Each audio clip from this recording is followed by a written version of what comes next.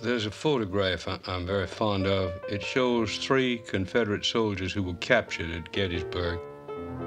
And they are posed in front of or alongside a snake rail fence. And you see exactly how the Confederate soldier was dressed. You see something in his attitude toward the camera that's revealing of his nature. And one of them has his uh, arms like this. Uh, as if he's having his picture made, but he's determined to be the individual he is. And there's something about that picture that draws me strongly as an image of the war. My interest in the Civil War was born as a little kid. I was given a, uh, a plastic figures of Civil War battles with some bridges and uh, decimated trees, but a lot of blue and gray plastic soldiers. And uh, my brother and I would play all the time. Blue and the gray. Ken and I used to play blue and the gray. I was always Confederate. It had a kind of a quaint sense of Union and rebels, always the rebel, never, never the victor. All of the first films that I worked on had completely accidentally the Civil War as a determining factor. The bridge was half again as big as any built before it. The Brooklyn Bridge wouldn't have been made without this new metal called steel, which the war helped to promote. The guy who built the Brooklyn Bridge, Washington Roebling, got his practical training as a bridge builder during the Civil War. They believed in pacifism and feminism, freedom from prejudice. The Shakers declined precipitously after the Civil War, not because of social or economic changes, but because of the psychic changes in a country that had just murdered 750,000 of their own people. The Statue of Liberty was a gift from the French intended to celebrate the survival of the Union, despite Lincoln's cost, and be delivered to his widow. It took longer than that. The Congress, everywhere you turned, the most important moment was clearly when there were two Congresses, one in Montgomery, Alabama, and later Richmond, as well as Washington, D.C. And so I realized this was the central event in American history. I was compelled to do something. And then I read and finished on Christmas Day, 1984, uh, a novel of the Battle of Gettysburg called The Killer Angels. And I was so taken by it that I just said, this is the next project. By the time Ken began to see all these kind of, and feel all these connections in his early work, I think he also, a huge light bulb went on and went like, this is completely undertreated. Where is the contemporary 1980s, 1990s version for a general public of this extraordinary event? With all these characters. Here's this guy, Ken, who is hypersensitized to the power of photography. 19th century photography, old pictures, with a, the most important event in American history which has been asleep Rip Van Winkle style for a generation. Let me say, I have a, an almost unbroken record of giving Ken bad advice. And, but the worst advice I ever gave him was not to do the Civil War. I thought it was a terrible idea that we would fail, that it was going to be endless uh, details of paintings and, you know, snorting horses and cannon fire. And he, he and Rick persevered, and uh, we ended up doing it, and I am terribly grateful we did. But it was, was not my idea. It was an idea that was terrifying. It was just bigger than all of the subjects put together times a hundred. A lot of it was a learning curve for me of upending those preconceptions and then trying to shape a narrative that issued from what sort of happened and try to balance what happened on the battlefield with what was happening at home and what was taking place in, in, other areas. And, and that sort of went against the grain. Nobody was interested in the specific battles anymore, that it was all about causes and effect. And we said, yeah, but what happened during those four years is hugely important to who we are.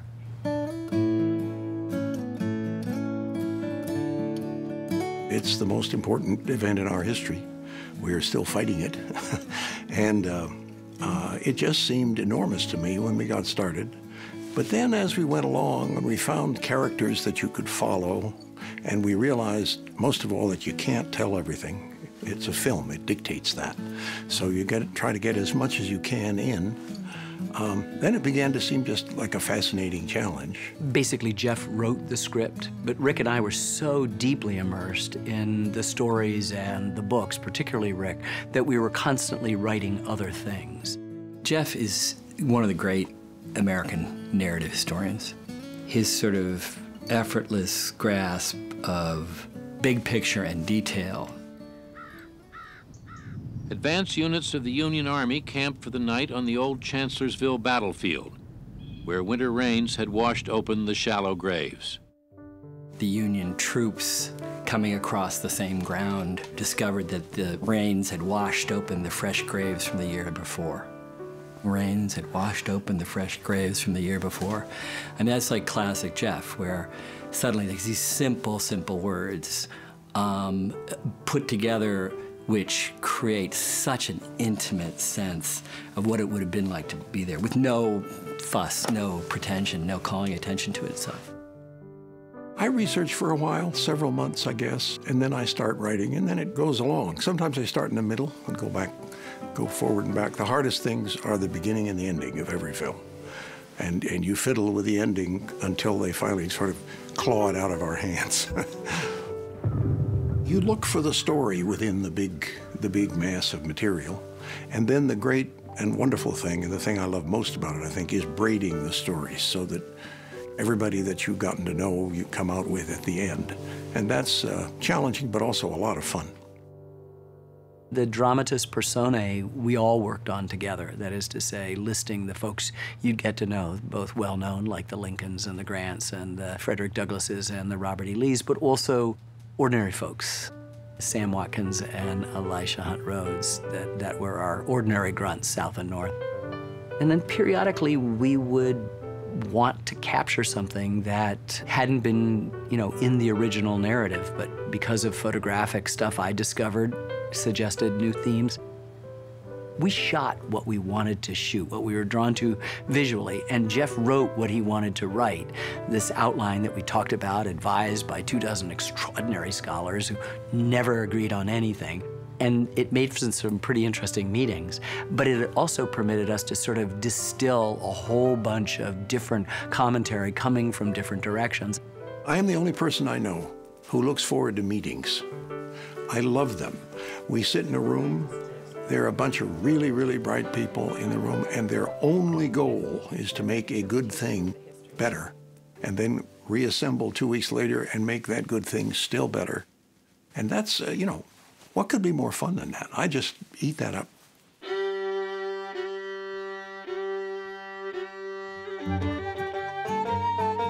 I photographed a lot of the Civil War um, in concert with Ken and also with Alan Moore, who we've been working with really since the beginning of the Civil War.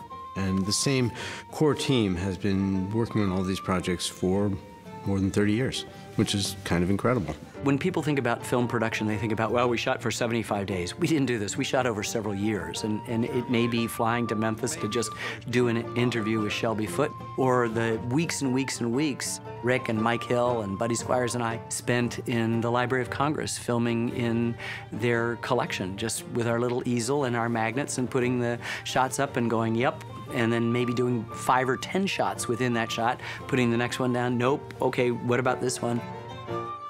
We would just start to deconstruct a photograph, and we would have to move the camera every time we wanted to get closer. So we would rephotograph something from six feet away, and then decided that we wanted to move in another two feet for a different image. And then we decided we wanted to do a pan from the left to the right. And we would go through and literally exist, live within these photographs. What I learned was there is a very special way to see a still photograph.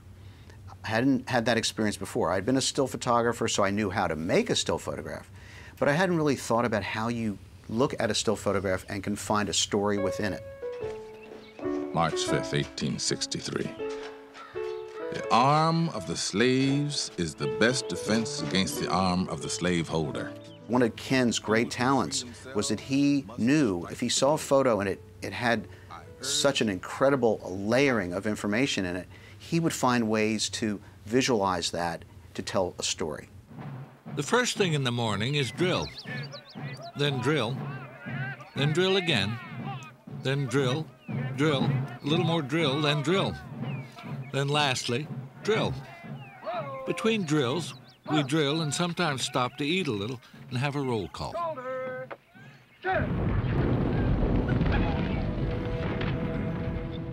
Some days are devoted to live cinematography, capturing at dawn or at dusk the vibe. And, and my favorite one is going uh, one late one afternoon to the Andersonville historic site.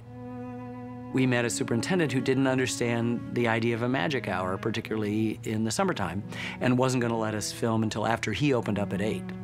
So we said, uh, can't we do this? And he said, nope. And we pushed back and it wasn't gonna happen. So the next morning we got there at 5.30, climbed the walls, shot the most spectacular footage at first light of those incredibly close proximate gravestones of the thousands of Union soldiers who died of starvation or disease or maltreatment at Andersonville climbed back over the fence. Then, then he arrived at 8 o'clock. We went in and shot the handful of archives that, that he had and smugly left.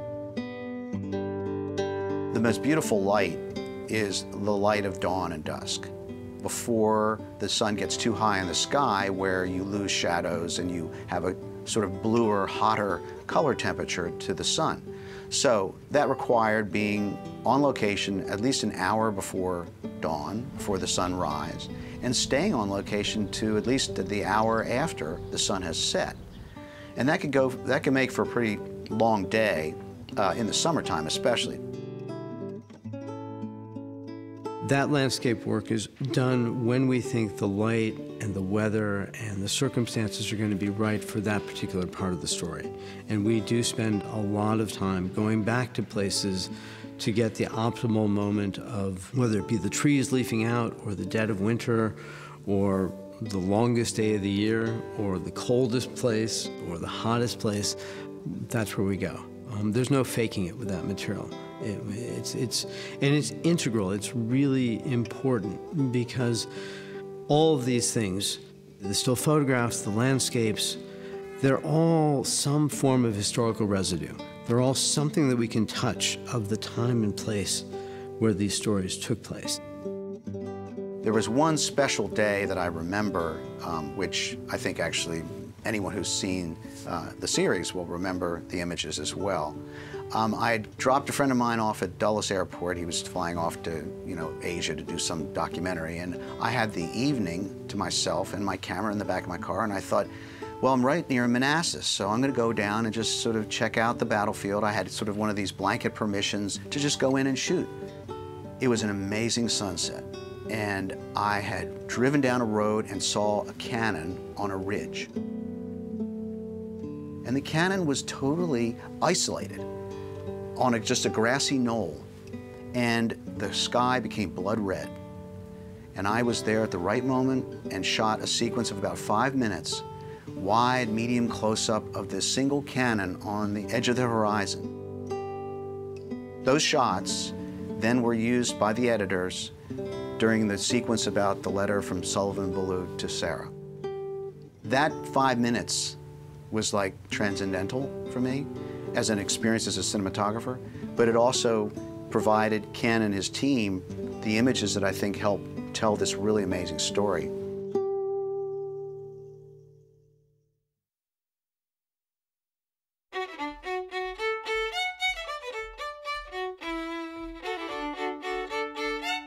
Had just come off the Huey Long film, or still working on it, and I'd become friends with Robert Penn Warren, the novelist and poet, the first poet laureate of the United States. And he called me up one time and said, thinking about the Civil War. He had this wonderful elliptical Kentucky accent. Thinking about how, if you're gonna do it right, you gotta talk to Shelby Foote right away. The first time we filmed Shelby, we trundled down to Memphis and went to his house, and I think that we shot maybe six rolls of film, which is about an hour of running time. Our film at that time ran 11 minutes per roll. When it was over, I turned to Buddy Squires, the cameraman, who'd been in the intimate room. My brother was there. I don't even think we had a sound man. I think we set it up and did it ourselves. But, you know, you, you don't know what you have in front of you. And I turned to Buddy and I said, what do you think? And he said, I think it's kind of boring. We kind of looked at each other and was like, well, he's kind of slow. Um, he's kind of very methodical in the way he speaks. He's not really very energetic. Um, we're not sure if this is going to work. You know, even Ken had no sense of how extraordinary the interview was. It was really only looking at the material coming back. Usually it's like 15% of an interview is usable. Fantastic interview. This was like 90% of the interview was usable. Well, all of a sudden, he took up so much oxygen in our film in the best kind of way.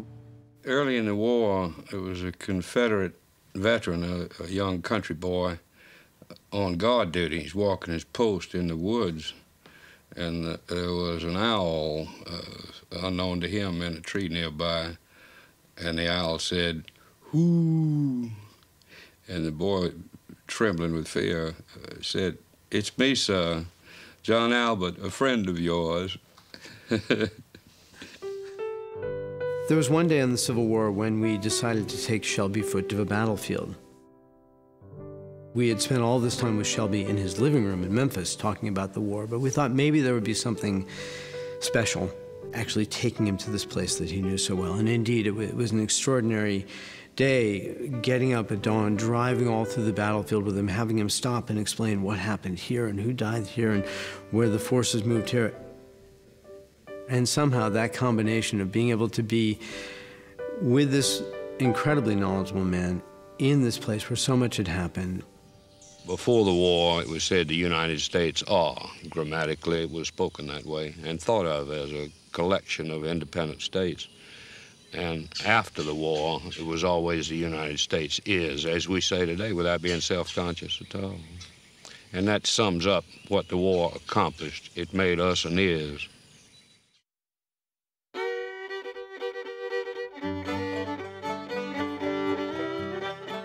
Initially, it was supposed to be just five one-hour shows, uh, each hour covering the year of the war. And then as they were, as Jeff and Rick and Ken were writing the script, it kept growing and growing. And as we were editing, we realized that it was much more than, you know, we were winding up with three and a half hour rough cuts on one episode. And at, at some point, Ken finally made a decision that we really should expand the length of the show from five shows to nine and divide years in half and figure out different ways to break it down. More than once during the Civil War, newspapers reported a strange phenomenon. From only a few miles away, a battle sometimes made no sound, despite the flash and smoke of cannon and the fact that more distant observers could hear it clearly.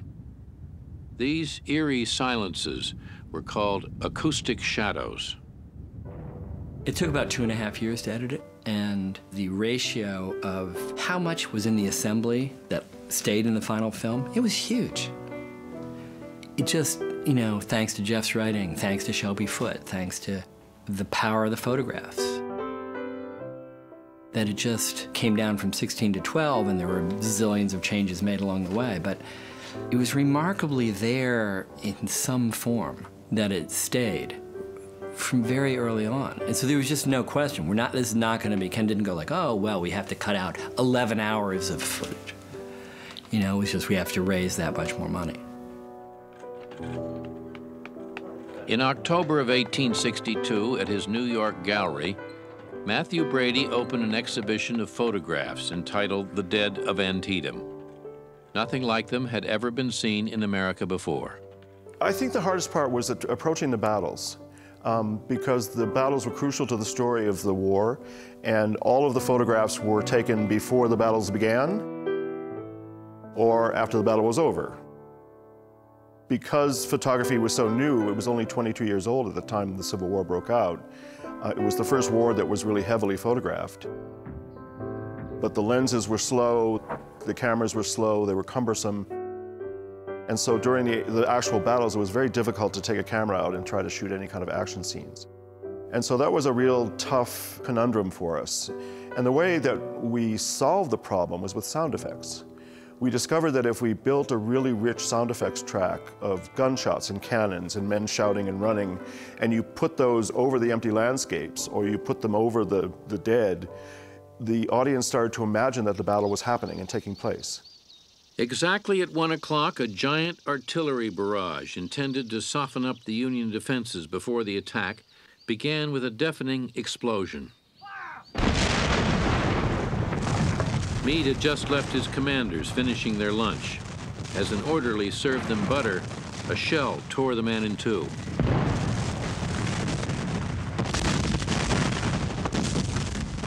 Storm broke upon us so suddenly that numbers of soldiers and officers who leaped from their tents or lazy siestas on the grass were stricken in their rising with mortal wounds and died, some with cigars clamped between their teeth, some with pieces of food in their fingers.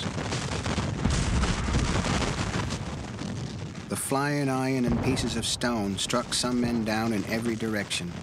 About 30 men of our brigade were killed or wounded. Elisha Hunt Rhodes. Ken and I were so shocked that after the film was broadcast, people came up to both me and him separately and said, I, was amazed at the newsreel footage you got of the Civil War battles. Ken and I were like, there was no film back then, guys. There was no newsreel. You were looking at still photographs. I've had a couple of experiences in my lifetime making movies that have been beyond transformative. Watching the fine cut of the funeral of Jackie Robinson in baseball. Filming in my first film, Roll 53, the spectacular light around the Brooklyn Bridge one evening on a what had been up to that point a very dreary day until the sky broke in the west and all of a sudden I've never in my life seen anything that's come close to it again. But I, I think all of those are trumped by a moment when we're mixing a Civil War it was our want to add a very complicated sound effects track. And we'd gotten to the Ford's Theater scene. And we'd laid down the narration, we'd lay down the music, we'd lay down some background noises of a cough and crowd noises and applause and this tinny sounding Victorian play, Our American Cousin, footfalls and door slams, and done all of that. We hadn't laid down the gunshot. And it's all analog, so you can't just digitally press a button. You got to back up and make a running start. And then mixer Lee Dichter did. And then somebody next to him turned around, her eyes sort of bright with tears, and I realized what this moment was. And I yelled, Stop. And uh, the mixer looked up at him, and I looked up at him, and he stood up and he said, uh, Let's wait a minute. It's, it's, um, I, I, I, don't, I just don't want to kill Lincoln yet he said, let's just let him live for a few seconds longer. I mean, he teared up, I teared up. uh, the mixer was looking at us like we were insane. and then I sort of nodded to Lee. He backed up again. We laid down the shot. We got the right caliber of sound. And then finished the film a day or so later, later and went home to Christmas 1989. But I don't think it's ever left us that for a moment we felt like we had just kept Abraham Lincoln alive, and it was incredibly powerful. Booth fired, then vaulted over the front of the box, caught his right spur in the draped flag, and landed on stage, breaking his left leg. He waved his dagger and shouted something to the stunned audience. Some thought he said, Sic semper tyrannis, thus be it ever to tyrants, Virginia's state motto. Others heard it as The South is Avenged. For a long moment, the theater was still. Then Mary Lincoln screamed.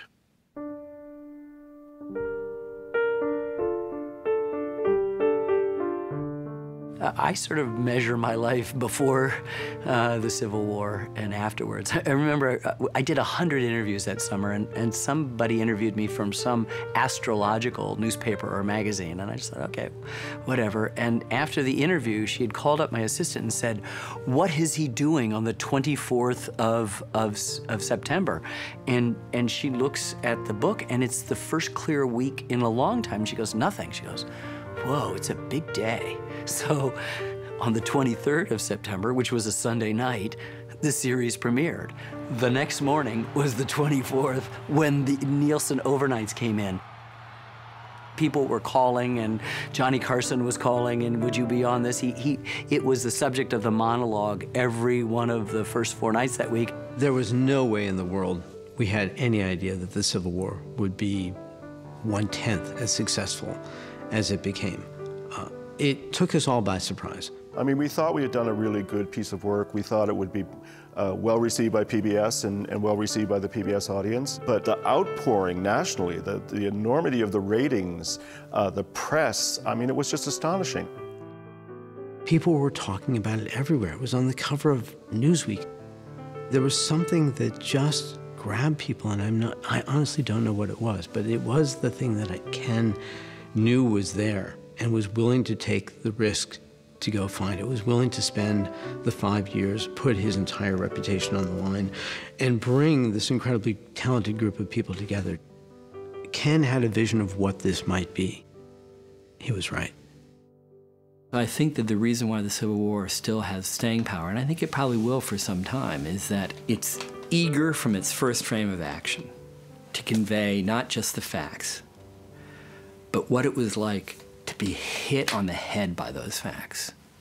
So it's always about conveying the inner experience of absorbing the meaning of the past. The most meaningful comment or the most wonderful compliment I think I ever received was from Ralph Ellison, whom I didn't know at all. And I was introduced to him at a dinner after something. And I told him how important his work was to me. And then he said, What do you do? And I said, Well, I just written the Civil War. And he grabbed my hand and he said, Thank you for telling the country what my people went through. I've never forgotten that. This year has brought about many changes that at the beginning would have been thought impossible. The close of the year finds me a soldier for the cause of my race. May God bless the cause.